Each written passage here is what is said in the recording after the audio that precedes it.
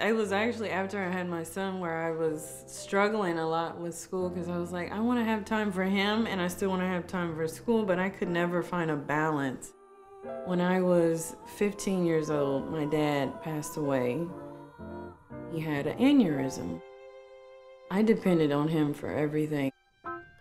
I have a younger brother and a younger sister also, and they looked up to me.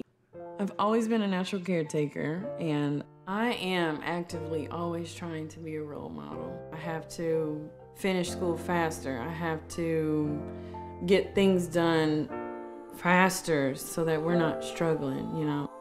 I need money now. I need to start taking care of my family now. And that's when I looked into ACC and I found the LVN program. I think I was just Googling nursing schools near me ACC actually was the one that stood out because it was like number one program in Texas. My plan is to graduate the top of my class so that I'm able to get a really good job so I can take care of me and my family. So that's my goal, really. I expect to graduate this December 2020.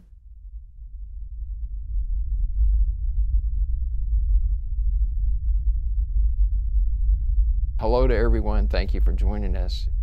You know, we haven't uh, witnessed things like this. We're in uncharted territories. We haven't seen this happen probably since the early 1900s. Uh, it's scary times for all of us. This family at ACC has just come together. You know, we provide first responders to this community. We provide the healthcare workers, the IT workers, the manufacturers. You know, one of the lessons that I'll have to tell you that I've learned over the years is the secret to success is perseverance. This is a time to really test your perseverance. And I thank you for taking up the challenge.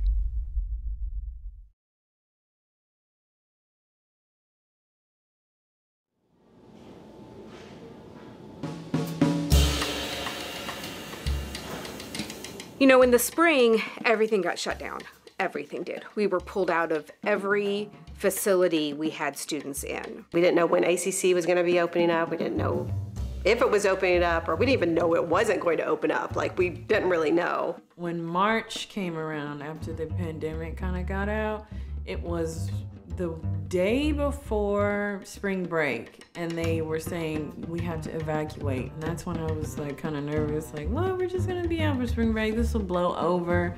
But it didn't. And when we came back everything was online. There was no going back to school at all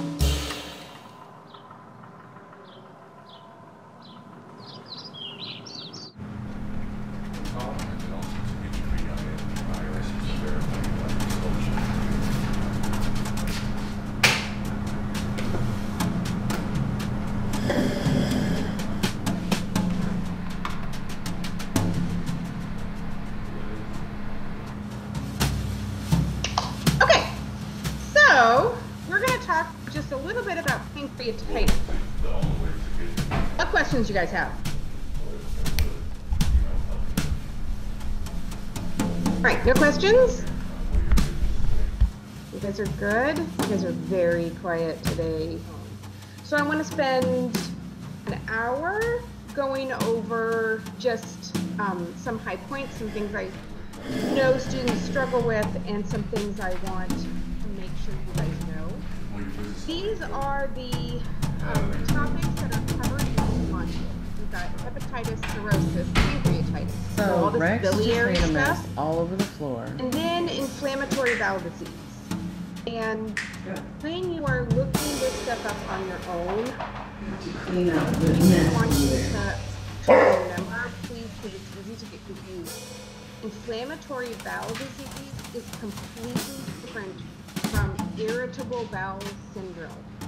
So IBD is completely different from IBS. I learn better in person because I am not distracted. I'm looking at that person who's lecturing. I'm not looking at my phone or hearing a noise like, oh, what's that? You know, like I don't get distracted easily in school rather than at home.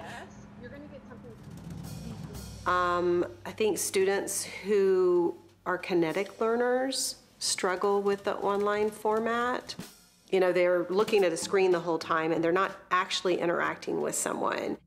Trying to teach nursing online is as awful as you think it is. It's hard to sit in front of a camera or in front of a a computer in front of a video camera for four hours because I have four hours worth of content to lecture. We're trying to do whatever it takes to give them the best experience we can within our limitations. Questions? Well, this question isn't about the lecture. I just want to verify um, whether we're meeting at 1200 or 1230 on campus. Okay, so do you guys hear that? It's 12:30 meet on campus. So meet on campus at 12:30.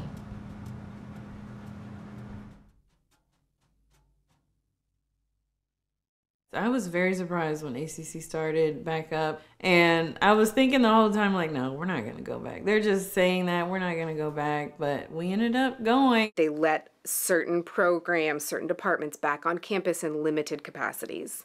We're limited in how many students we can have. We're limited in how many instructors we can have. We're limited in the supplies we use. We can't share supplies anymore.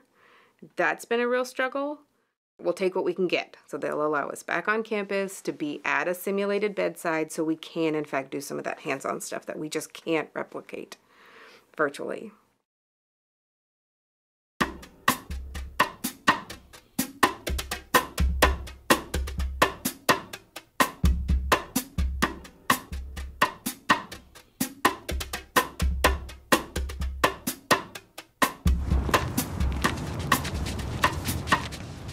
Today? Good, how are you? Good. All right, you're good to go. And just make sure you take off your old stickers when you put the new sticker on. You got it. Have a good one. Me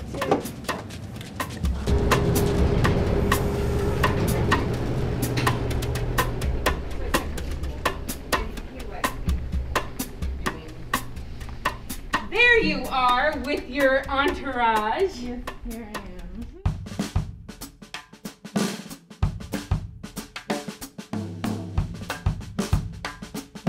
They're practicing on high fidelity mannequins. These mannequins have a heartbeat, they have lung sounds, they can, they have a very limited vocabulary. they can say yes and no, they can scream and moan. They have veins to start an IV. You know, they have other various orifices to do as many skills as we can do.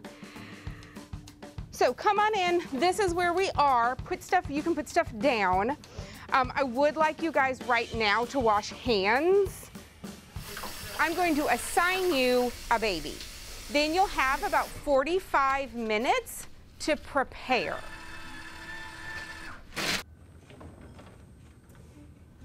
Here's your baby. You're the nurse caring for that baby.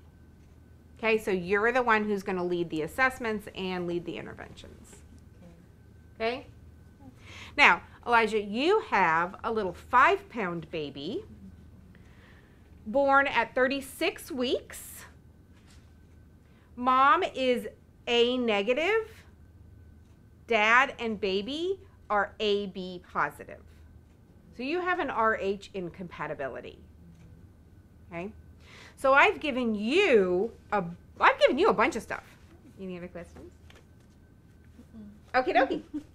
All right, so get to work. I like I said, I'm gonna step out for a few minutes.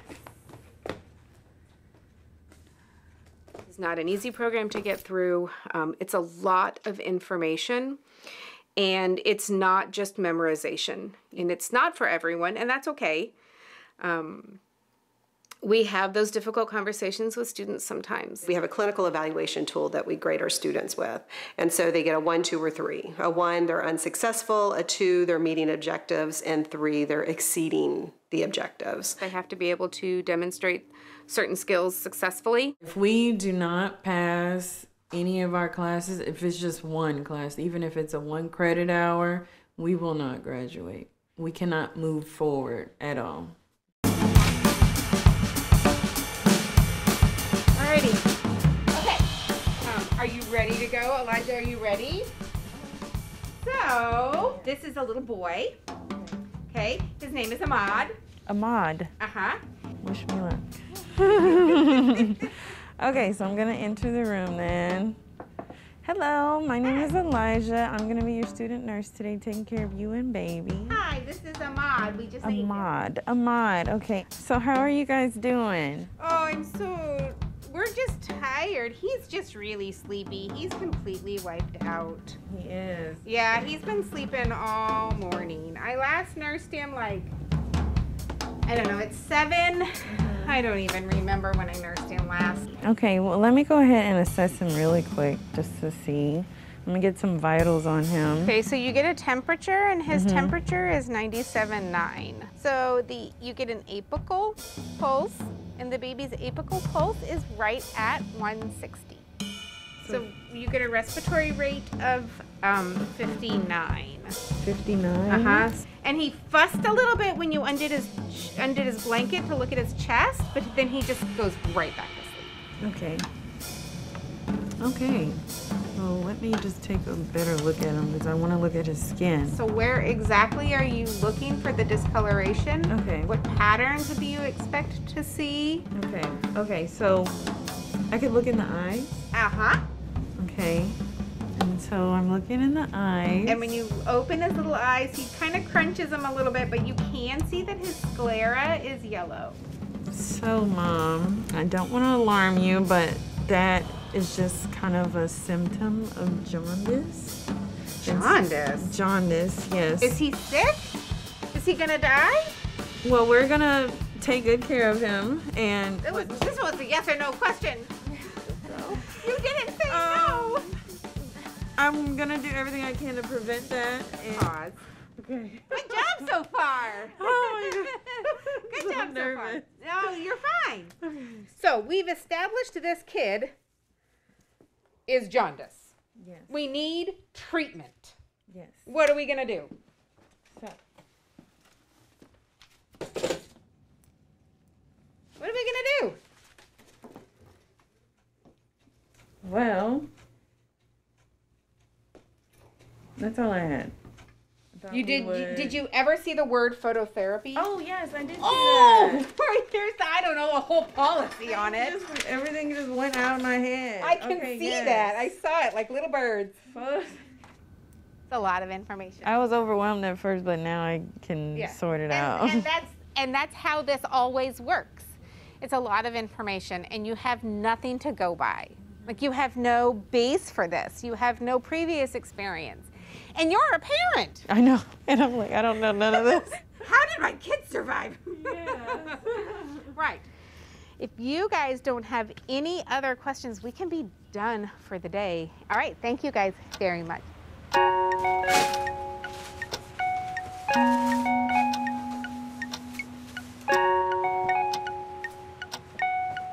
So, in order to be successful, um, benchmarks would be, of course, passing their exams, ultimately to pass the, to pass a course. We test students um, from a knowledge base and we build on that. So level one is more of a foundation. Um, and then level two is more kind of entry, very beginning levels of um, nursing care.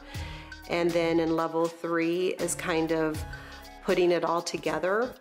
Um, and so they have to progress from one level to the other, and then they have to do skills and show that they can continue carry over what they learned from level one into level two. So when they come into the beginning of a semester, they have to take a pharmacology exam, and they also have to take a skills-based uh, competency. Our students take um, what we call module exams throughout the semester. And then at the end of the semester, they will take a final exam that is usually comprehensive. So it encompasses everything they've learned over the semester, and it's just sort of do you remember all of that?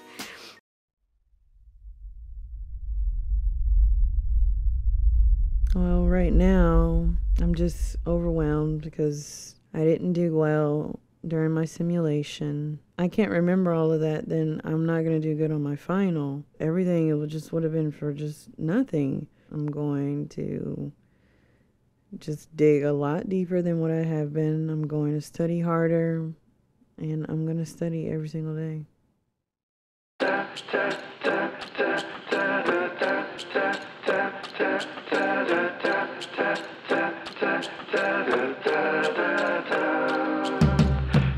Gabby because he's in school. His mom is hugging and the baby sees mom. So if you read it.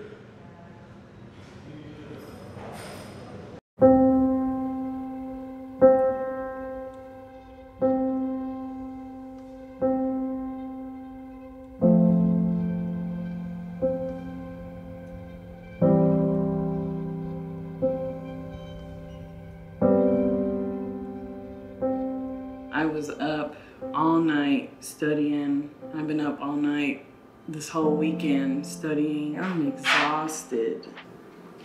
I'm just at my last leg right now. I've done okay on the labs, on the simulations, on the homework quizzes, but it's really down to this final. And if I don't do well on this final, then I'm not going to graduate.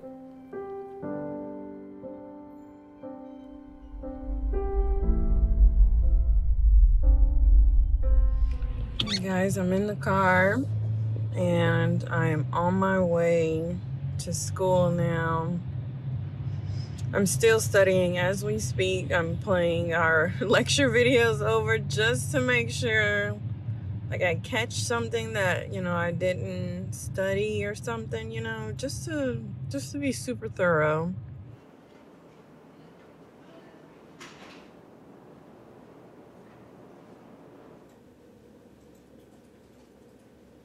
In. Um, foam, gloves, grab a pencil. Sherry went to go get scratch paper, so as soon as, aha, Sherry grabbed scratch paper. Um, so foam, gloves, pencil, scratch paper. The pencil is yours to keep. All right, are you guys good? Okay, come on in. And remember, nothing in your pockets. If a phone goes off, I'm gonna answer it. And I can't promise you what I'm gonna say. Yeah. Yes. Hello. Going into the final. Yes. That's my hope. Yes. I know. You know, you've got your PD exam tomorrow. Okay, it's time to get started. Okay, let's count. One, two, three, four, five, six, seven, eight, nine, ten, eleven, twelve, thirteen, fifteen. All right, everyone find a seat. Okay, um, get to the point where you can click on the exam, but don't click on the exam yet. Everyone take a deep breath. Okay. You know the content. You know this stuff. Read the question. If you start playing the what if game, well, what if he's got high blood? Stop right there. Because if he didn't say it, he doesn't have it. Make sure cell phones are turned off and smart watches are taken off your wrists. Um, if you guys don't have any questions, you can begin.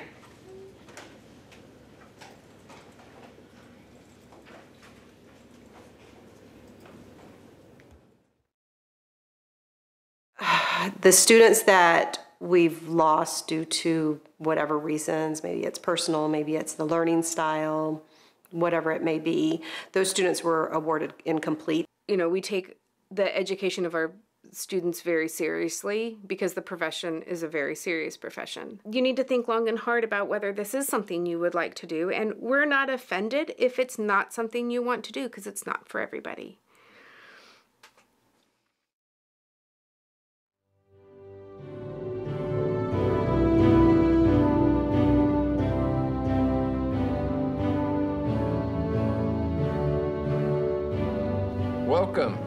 Fall 2020 Austin Community College District virtual commencement. Despite the fears and uncertainty surrounding the global pandemic, you have persevered. Graduates of 2020, we now send you off to change the world. Remember, with hope on your side, you can achieve anything.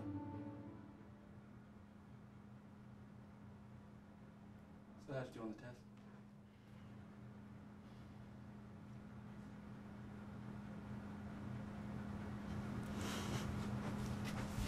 Good job on the test. Thank you, Eddie. Love you. I passed.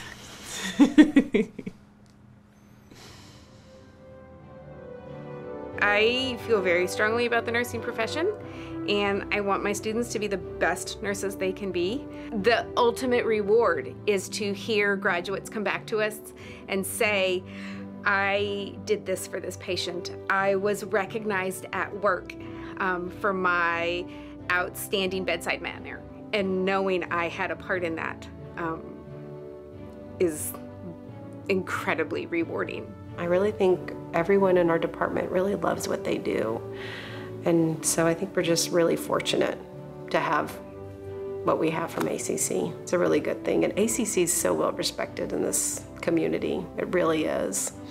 Um, so it's pretty cool. It's pretty cool to be able to work here. We are encouraged by you. We admire your perseverance, and we are so very proud of you. We now send you off to change the world. Hey, shout out. Yes, yes. Congratulations, everybody. Um, at one time, we thought that we may have to adjust our grades because of the COVID. These students stepped up to the par. They stepped up to our bar of expectation. We did not lower it, and they stepped up and they performed. They would not be graduating from this program if they did not make the academic requirements nor the clinical requirements and the expectation that, that we have before them. Okay, we're gonna move forward, and at this time, I would like to bring uh, to the forefront uh, Alijah Wilson, who will bring the uh, the graduation class speech. Alijah. So, first, I'd like to say thank you for giving me this opportunity to speak for our class. I have never had the pleasure of being a class speaker. And when I was nominated, I remember panicking, thinking, what am I going to speak about? We did it. The sacrifices, the tears, the lack of sleep, not being involved with our families like we used to, and not having enough time for ourselves, today it finally becomes worth it. I'm getting a little emotional. And so now I'd just like to say congratulations to the fall 2020 LVN class. And thank you for this opportunity. And I pray that everyone has a blessed and safe rest of the year and the years to come. Thank you so much for this opportunity, Miss Sandra. Thank you. Sunshine,